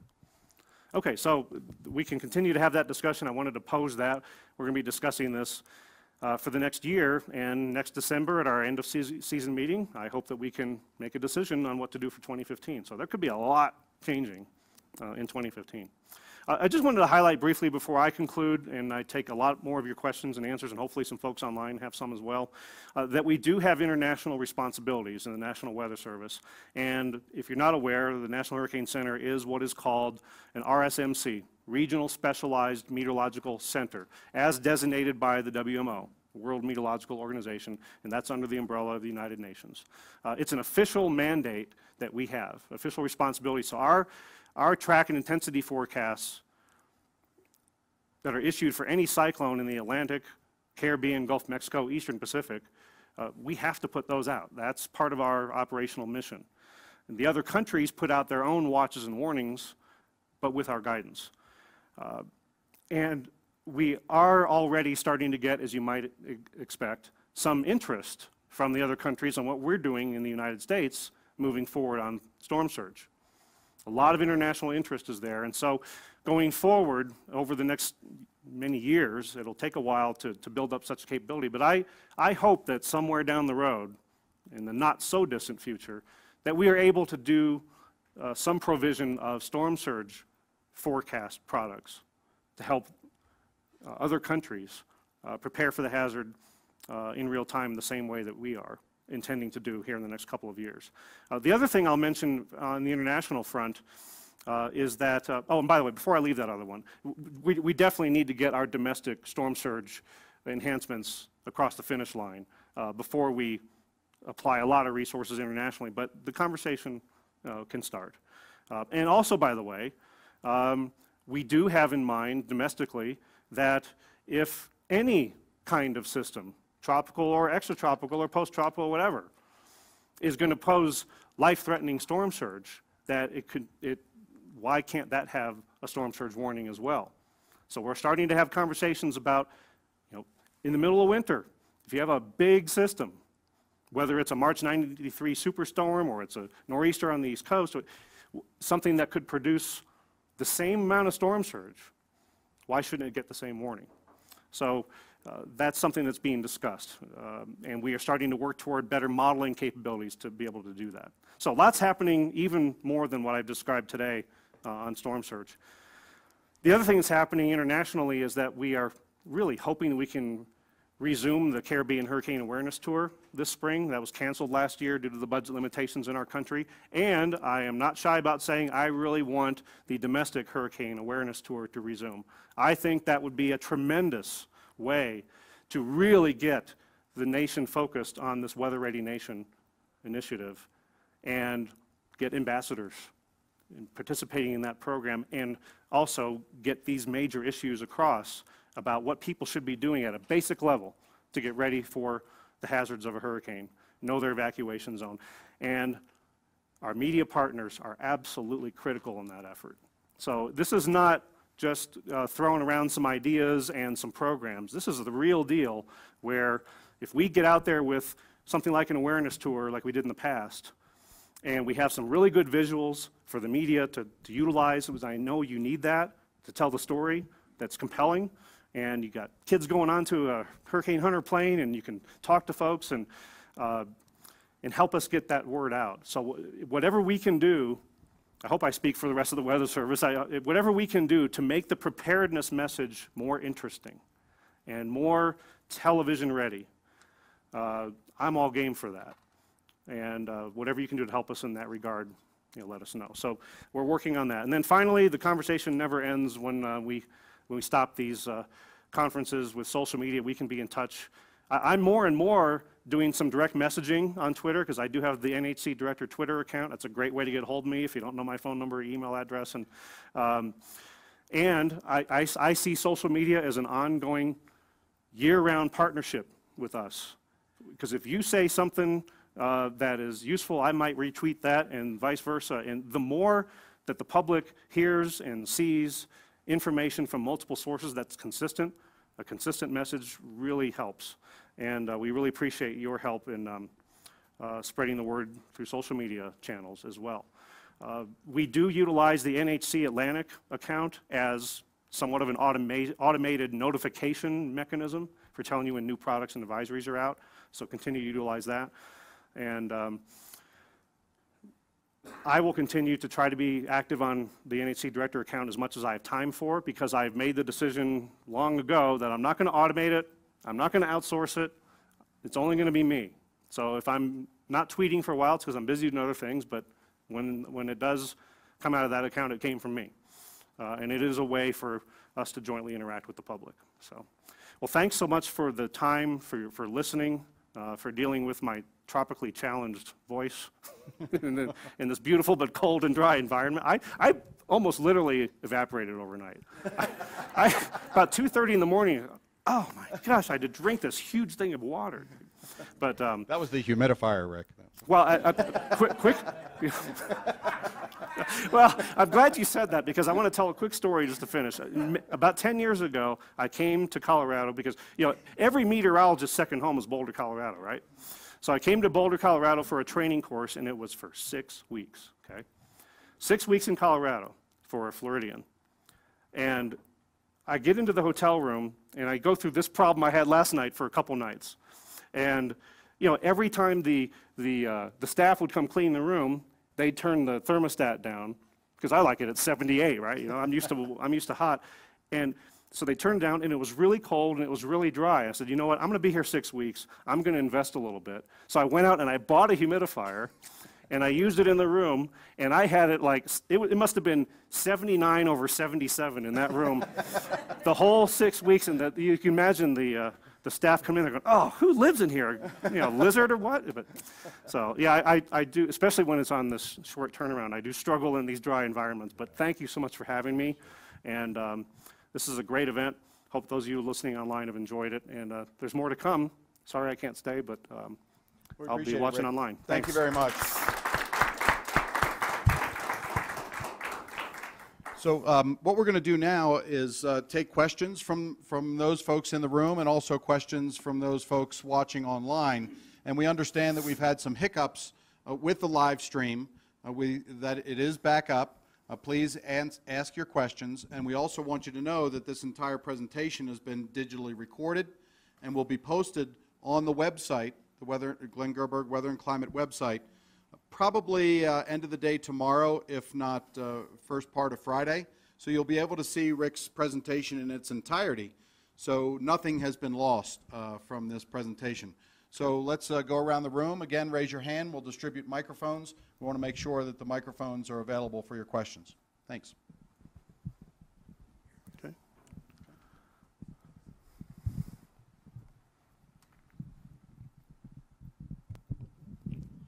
Thanks, Wayne Higgins, Climate Program Office. Rick, uh, that was a great talk, um, and I really appreciated uh, uh, your highlighting the seasonal um, uh, hurricane outlooks.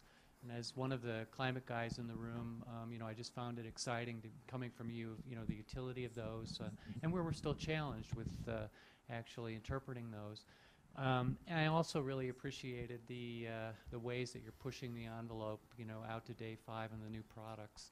So I just simply wanted to sort of comment or highlight where I think there's another major gap um, and would like your impressions, and that is that um, I think that we have tremendous opportunities for actually doing not only monthly updates of seasonal outlooks, but even monthly outlooks themselves. Um, and I would point to the research advances that uh, we've had over the past several years, uh, including field campaign work like the dynamics of the Madden-Julian oscillation, uh, and improvements in our operational climate models for actually, you know, capturing the enhanced and suppressed periods in the in the uh, Atlantic Basin, for example. And if you look at last summer, um, you know, it was very, very clear, you know, that with all of the dry air coming off of the African subcontinent, uh, you know, that, you know, in July and August, the Atlantic was going to be shut down. And that was very well captured, actually, in our climate predictions. So um, I just want to comment that I think that there really is an opportunity for filling in some of the other gaps on these subseasonal timescales that I think would uh, you would find to be useful, uh, you know, as you push the envelope, you know, beyond out to day five and beyond. Uh, and I think that NOAA has, uh, you know, a considerable amount of information there on these interseasonal timescales that might be also of use to the emergency management community. Okay, well, Wayne, thank you for those comments and, and that question. It- It is exciting to think about what the future might look like in terms of what new products and services we could provide uh, in between our five-day forecasts and the seasonal outlook. Uh, You know, any forecast has to be conveyed commensurate with the uncertainty of the forecast at the time it's issued and with heavily in mind the intended audience and the utility of such product or service or warning or whatever it is. Uh, So right now, if I was to think, well, what could we do beyond day five in the next few years, uh, following what we've done with our tropical weather outlook? Uh, It would have to convey a little less precision, maybe not be system-specific, and paint a broader picture. Uh, And we'd have to have a dialogue with emergency managers and ongoing with our media partners on what are we trying to accomplish with such a product.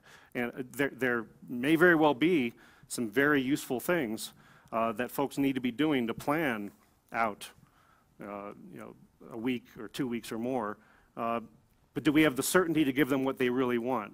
And how do we frame that? That would be the challenge. But it- it's an exciting discussion to continue to have, and we're never going to get from here to there if we don't continue to talk about it starting today. There's no harm in talking about it and, and thinking through what we would need in terms of new tools and, and product development, modeling enhancements, whatever it is, and help from the science community. So lots of excitement, I think, around those. And we have those discussions at the Hurricane Center, trust me, about what uh, we could do in the future.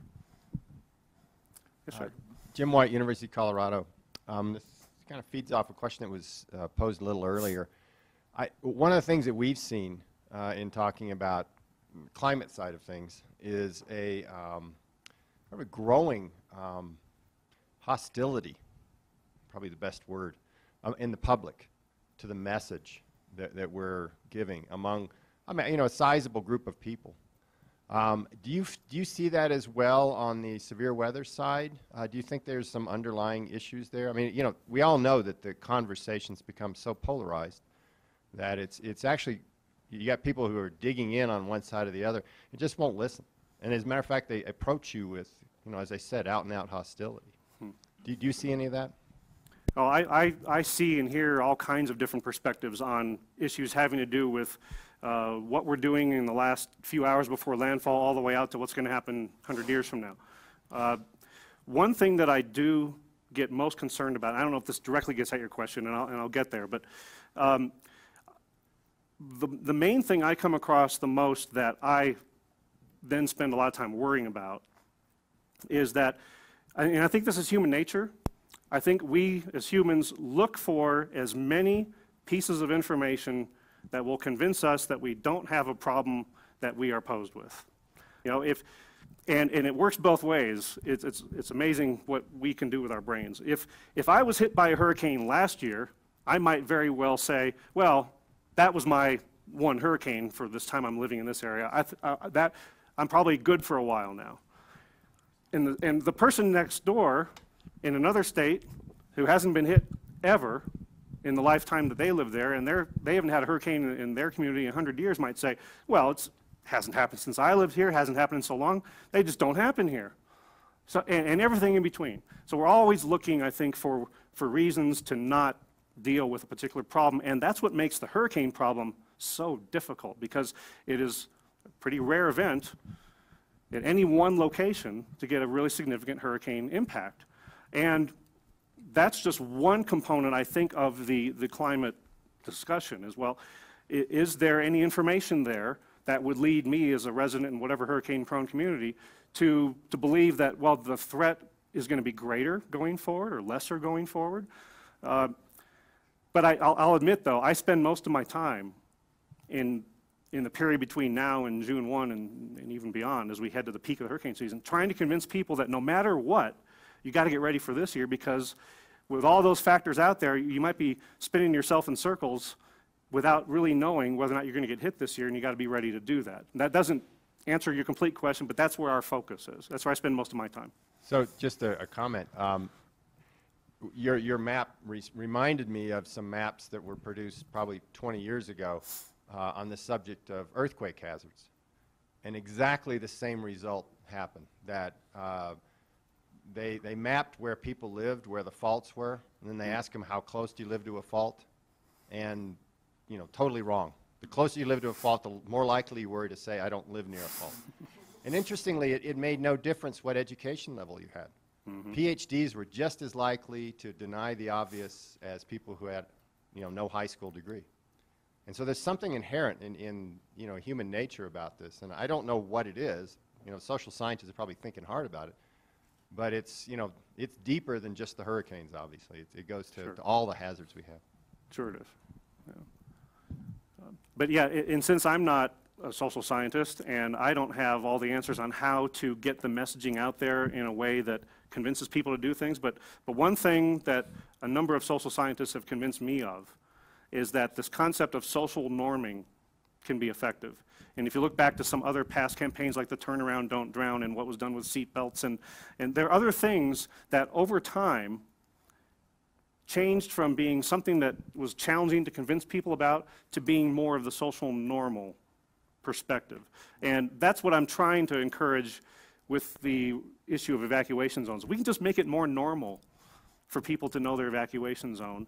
Then, you know, you get, a- you get a few early adopters on board who really want to know and make it really easy for them. And then they go tell some friends that, well, it was really easy for me to find my evacuation zone on this app or this website or on this TV station.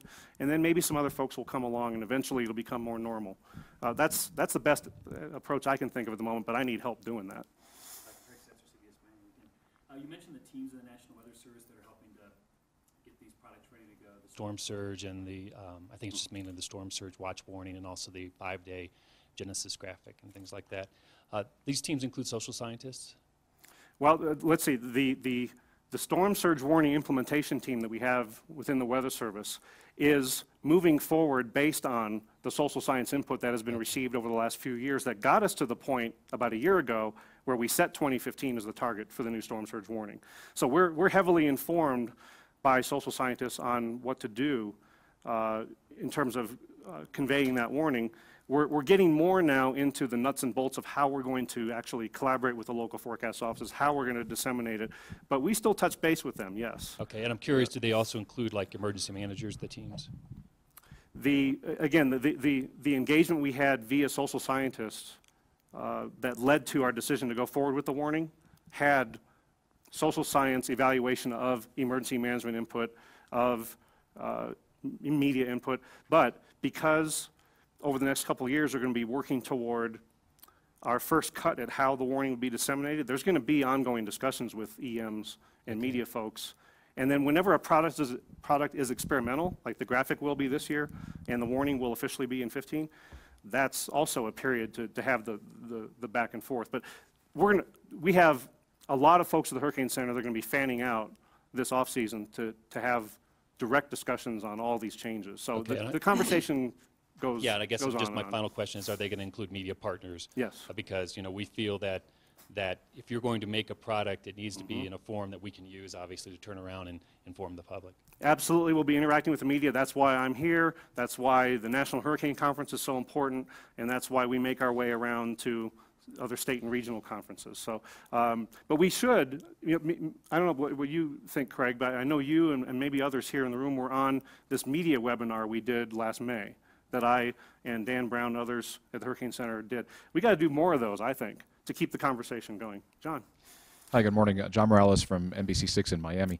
Uh, Can you give us an update on HFIP, the Hurricane Forecast Improvement Program, uh, where that's headed, what progress we've seen, and what, uh, what real outcome we might have from that? And uh, is there anything also from the Sandy supplemental funding that might impact our ability to uh, uh, forecast intensity, especially of uh, cyclones? Okay, great questions, John. Thank you. So let's start with HFIP, Hurricane Forecast Improvement Program. We're, you know, roughly speaking, halfway through this 10-year program, multi-million dollar effort. Um, It is, it has been and is continuing to fund a number of things. One of the things that HFIP has funded is the new Hurricane WRF, or Weather Research and Forecast Model, one of the operational Weather Service hurricane models that model was upgraded last year using a lot of HFIP support. And some of the, uh, the runs of that model on a number of past uh, events utilizing aircraft data in new ways, data assimilation, where you, you make the most of all the data, bring it into the inner core and do a better intensity forecast.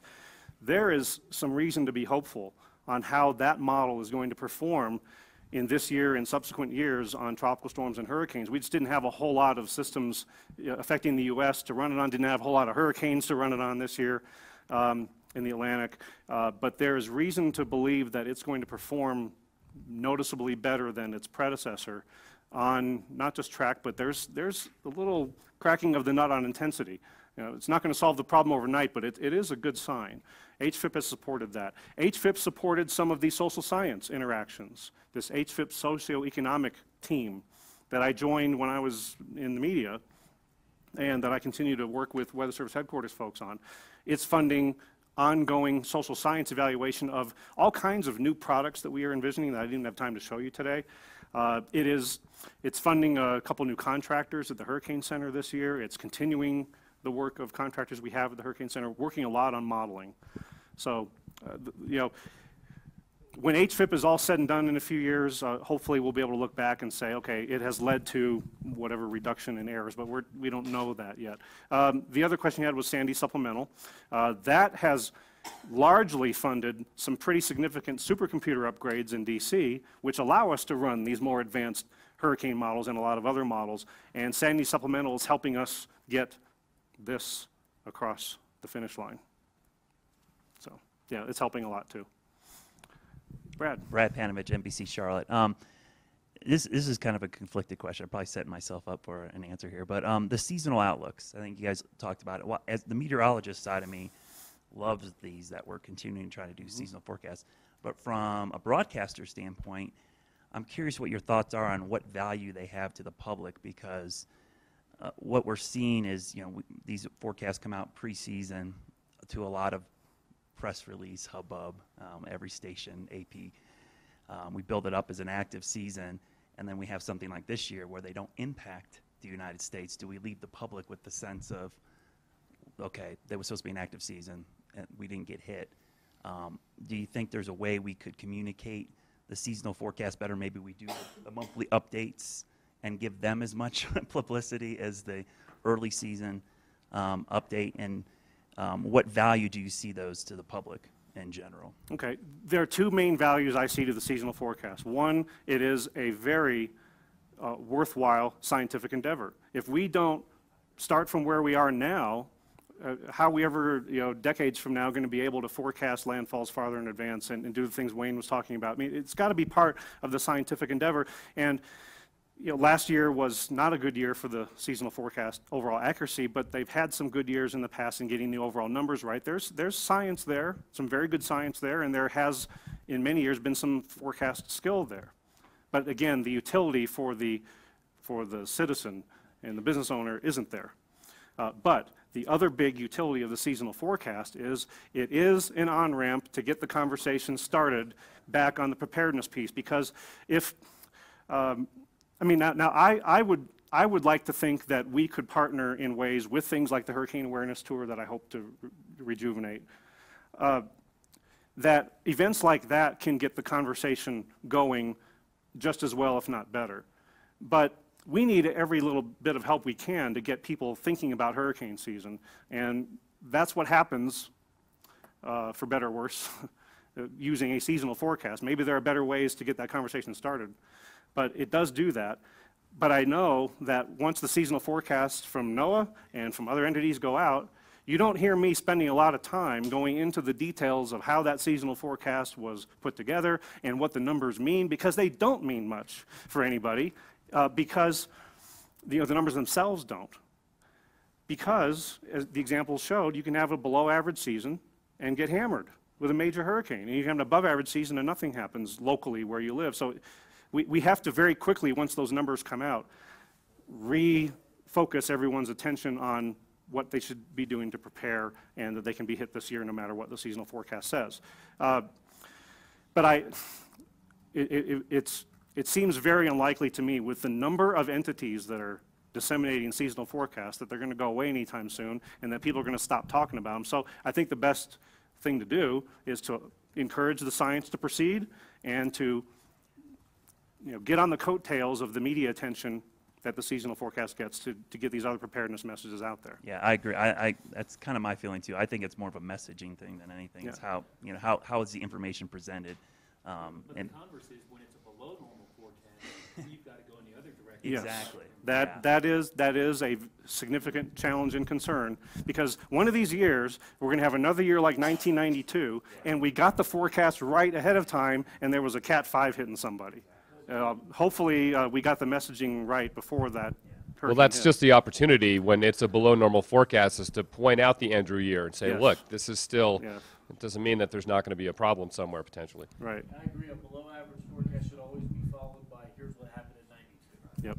Right, so, uh, my name's Ned Gardiner, I work with the Climate Program Office, and I produce a video package for the Hurricane Outlook every year, and, um, I, this has been very informative a number of times through this conference.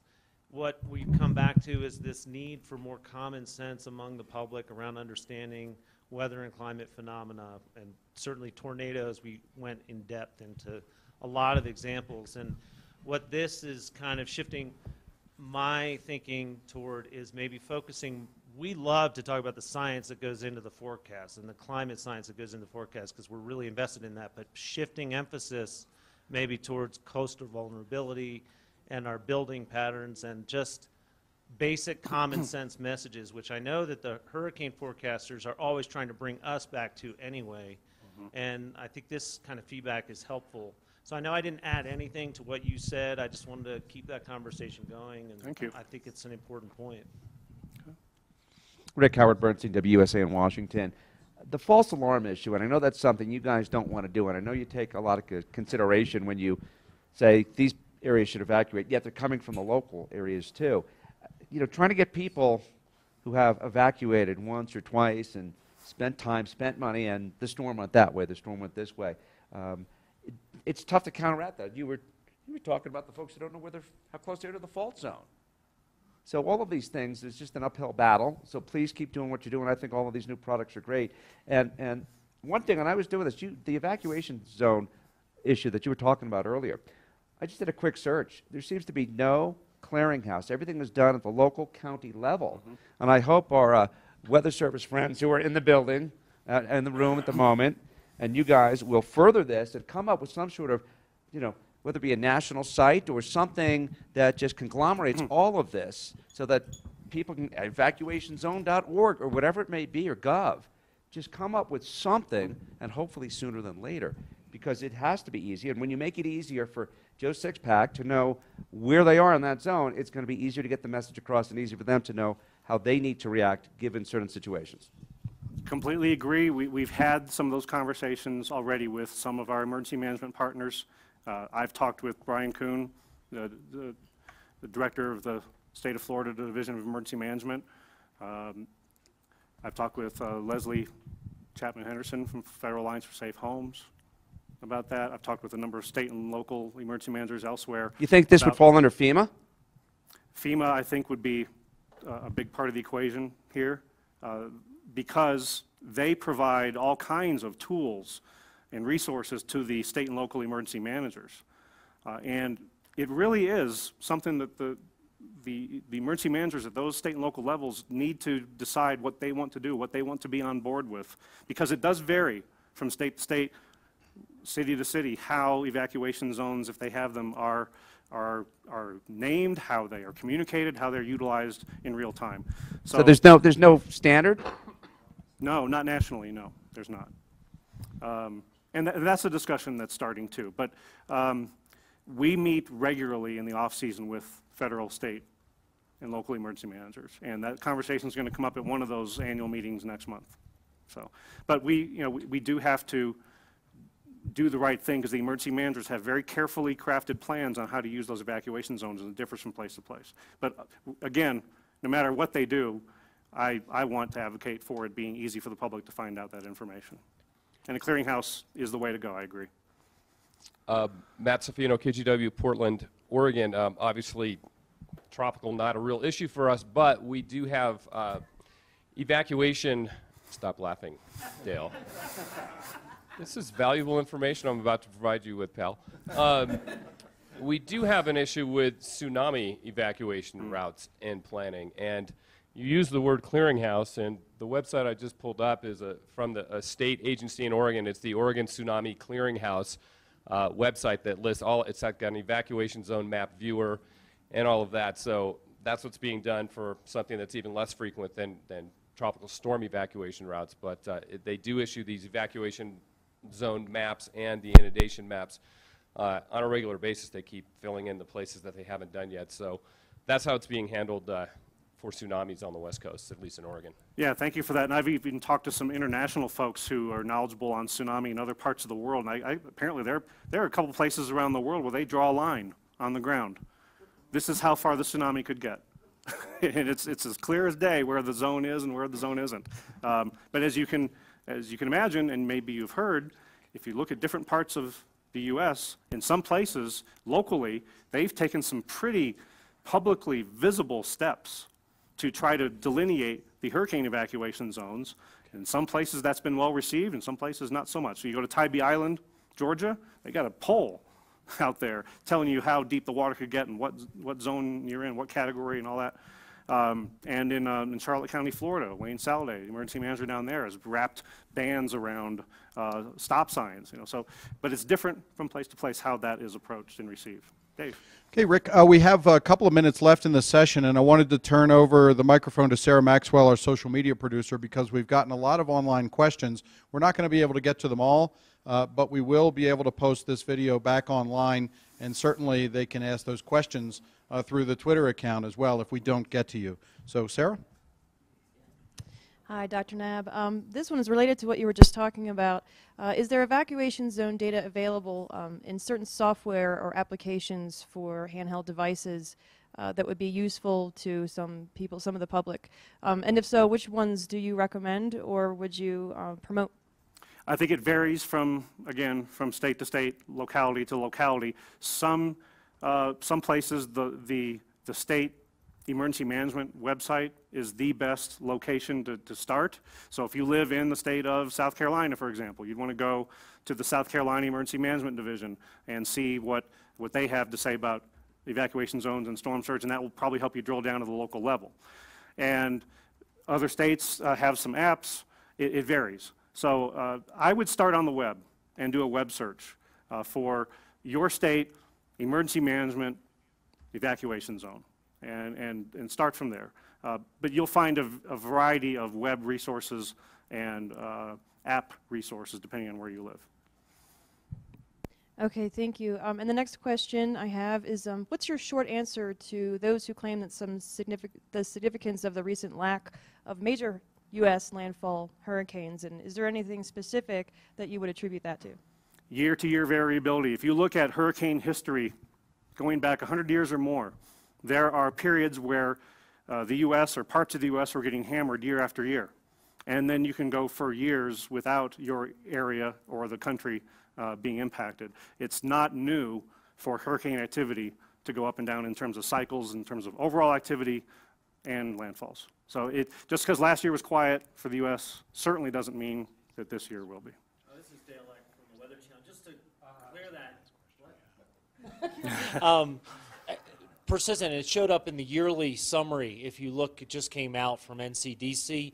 The cooler than average from the plains into the southeast. Mm-hmm. I think the last, at least this year, in addition to the dry, there was just a small window to get something into the U.S. because there there was a general trough position along the kind of the Mississippi Valley, Mid South, that kind of thing, which I think also might have attributed to some of that. But Sure, as yeah, there yeah. is variability. Yeah, sure. If, we- if we're, yeah, I, I was taking, Synoptic I was taking yeah. a, a much broader historical approach to the answer. But in terms of the physical reasons for why this year, uh, why 2013 behaved the way it did, yeah, tho- those are valid uh, issues to bring up. But I, I guess I was going back to my usual approach of, of telling folks that, uh, that this has happened before, where it's been really busy, really quiet, really busy, really quiet. So just to continue that conversation, because this can become pretty interesting if we talk about it. Um, now, th- th- 30, sec- 30 seconds. This is John Morales. John Morales from NBC6 Miami. Um, so, so that pattern just described, with a trough either along the east coast of the U.S. or the far western Atlantic, North Atlantic, has been pretty persistent over recent years. And now, while this is not settled science, and we've had presentations here at this particular conference from Dr. Jennifer Francis and, uh, and others that have presented uh, the possibility of uh, wavier jet stream as uh, the climate changes, and uh, the persistence of a ridge uh, in the more central Atlantic extending up, extending up towards Greenland with a trough in the far western Atlantic and the southeast U.S. So we wonder out loud if uh, this might So uh, be a more persistent pattern, uh, maybe not permanent, but uh, the propensity for that pattern might be there in the future. Right. Uh, Excellent questions, and I, I've, I've seen uh, reports or read journal articles uh, that are going after these issues. But it, it's only, you know, you look back not all that long ago to 2005 where we had that persistent ridge in just the wrong place, opposite to what you just described, uh, that sent everything right into the, into the southeastern U.S. I, I just don't think we have a long enough history of the changes in hurricane activity to be able to accurately predict what's going to happen in the future, but I would not be shocked if things are a little different going forward than they've been in the past. I mean, the, the, you know, there are changes to our climate system that are easy to see that have been going on uh, with the increase in temperatures, the increase in CO2, and uh, I would not be surprised uh, if we saw changes, but I don't know if we have a very good ability to predict accurately what those changes are going to be. If we can't predict in May what the upcoming season is going to be very accurately, you can imagine how difficult it's going to be to predict a multi-year uh, pattern of activity. Wayne? Yeah, Rick, Wayne Higgins, Climate Program Office. Um, so I just want to comment that in addition to the year-to-year vari- variability, if you look at the historical record, there are uh, decadal variations. Oh, absolutely. And, and in particular, if you look pre and post satellite era, because of course we didn't see every swirl out over the Atlantic prior to the satellite era, but uh, since that time we have a better un- understanding of the activity. There has been, um, with this variability that you described, an increasing trend in, uh, in overall net intensity uh, on a seasonal basis. And I actually tomorrow, in, as part of my talk, will show the evidence for that. Yeah, and, and, uh, yeah, in, in, in my previous answer, I'm referring mostly to landfalls because you can have, uh, even busy overall years and not get a landfall impact. And then, you know, as, I, as we've talked about it, uh, even a below average year and you get an impact. So from one year to the next, what we get in terms of land impacts can vary dramatically. But absolutely, we've seen decadal cycles in overall hurricane activity. The challenge, though, is that even though we've had satellites for a few decades, but our hurricane record is not all that long in terms of having the accuracy anywhere near uh, what it does today. So it is, it is somewhat of a challenge looking back really far, 100 years or more, to figure out what the trends have been over that period of time because the, the data availability and quality have changed so much. So I would love to, to sit and, uh, and talk through all those nuances. It's, it's a scientific challenge and it's interesting, but it also makes it challenging to figure out what's going to happen going forward in terms of numbers and intensities of storms.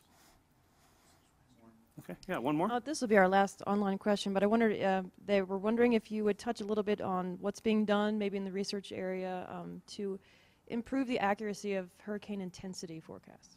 Okay, well, the hurricane intensity forecast problem has largely been addressed by what John asked about earlier, the Hurricane Forecast Improvement Program, because there are two major things, well, three, three major components to it- attacking that problem. One is having more and better observations in the core of a hurricane, and we have the Hurricane Hunter planes uh, with the Doppler capability on the NOAA planes.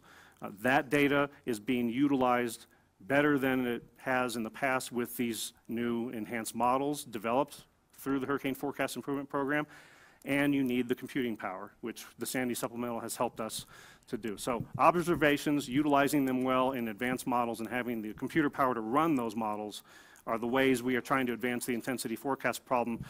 It's going to be one of those things we chip away at. It's, we're not going to solve the problem overnight or between now and next year, but that's where we're going to make our progress. Rick, thank you very much. Please offer uh, Rick another round of applause. Thank you. Thank you, Dave. This is Appreciate it. terrific. Thank you so much. And uh, for the online viewers, thank you so much for sticking with us when we had some of our hiccups uh, with the stream. What we're going to do now is take a look outside. We have this thing called the sun. I don't know what it was it was called. It's actually uh, su- it's su- sunny outside. Take a look at this live shot in Breckenridge, Colorado. You can see the trees moving, so there's a bit of a breeze, but it's a gorgeous, gorgeous shot outside right now. What we're going to do is we're going to take a break. Uh, Rick uh, Knabb has to be interviewed by a couple of the, the media that are here in the room, so uh, he has a limited amount of time for that. And for the online viewers, uh, please know that we're going to take a few minutes to reset all of our production equipment just to make sure uh, we, we fixed and reset the routers uh, out in Breckenridge. And so we're just going to make sure that all of our production equipment is also reset. So there'll be a period of black. Uh, we won't be uh, uh, broadcasting any uh, agendas or anything like that that we normally do. But as soon as the equipment gets reset, we'll bring all that back up and start with Dan Bailey. So we'll take about a 15 minute break. Uh, we'll be back here at about 20 minutes, between 20 and 25 minutes, uh, or 15 and 25 minutes after the hour. So just uh, stay tuned and thank you so much.